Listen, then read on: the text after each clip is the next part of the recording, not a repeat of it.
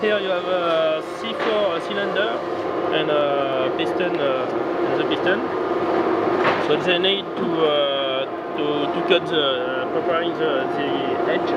But, Okay. uh, and uh,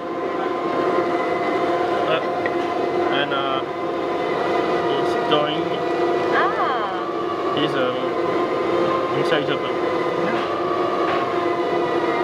And this is the internal chamber and external chamber. Okay.